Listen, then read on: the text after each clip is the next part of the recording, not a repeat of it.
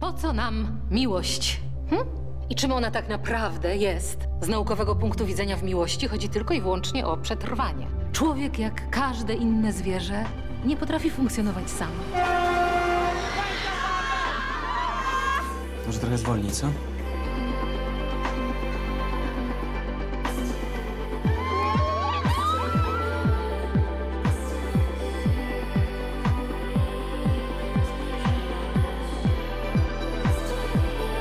Nienawidzę cię! Byłyśmy kiedyś razem.